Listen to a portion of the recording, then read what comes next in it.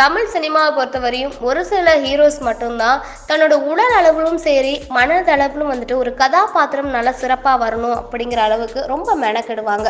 So அப்படி சொன்னோன்னா அதுக்கு வந்துட்டு நமக்கு ஃபர்ஸ்ட் ஞாபகத்துக்கு வருது உலகநாயகன் கமல்ஹாசன் அவர்கள் தான் அவங்க அடுத்து அப்படின்னு சொன்னால் சியான் விக்ரம் அவர்கள் அந்த இடத்துல இருப்பாங்க. அப்படி சியான் விக்ரம் பார்த்தீங்கன்னா பல படங்களுக்கு வந்து அந்த கதாபாத்திரத்துக்கு உயிர் கொடுத்துருக்காங்க.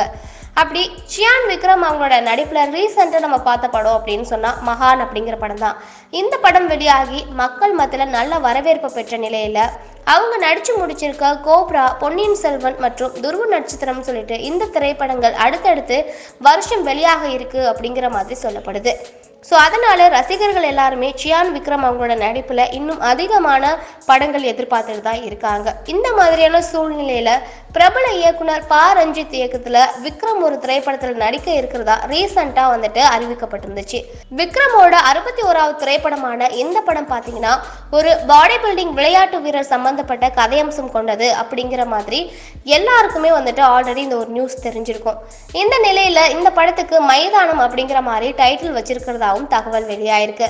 விக்ரம் அவர்களோட பிறந்த நாளான ஏப்ரல் பதினேழாம் தேதி அன்னைக்கு வந்துட்டு இந்த டைட்டில் போஸ்டர் வெளியாகும் அப்படிங்கிற மாதிரி எதிர்பார்க்கப்படுது.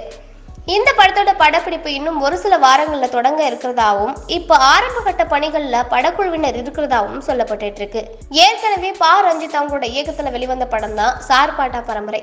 இந்த படமும் பார்த்தீங்கன்னா குத்துச்சண்டை வீரர்கள் கதையம்சம் கொண்ட திரைப்படமாக இருந்திருக்கும்.